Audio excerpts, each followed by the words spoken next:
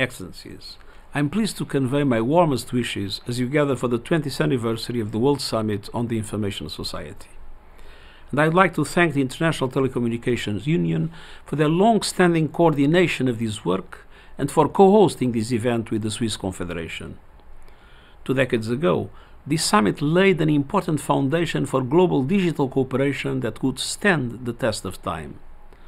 Over the years, WSIS has evolved to consider new challenges and opportunities in the digital space supported by the commitment of 40 United Nations entities.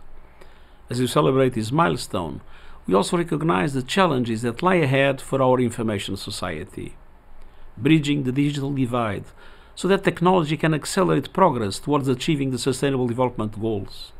Ensuring information integrity in an era of deep fakes and disinformation and reinforcing the multi stakeholder foundations of Internet governance.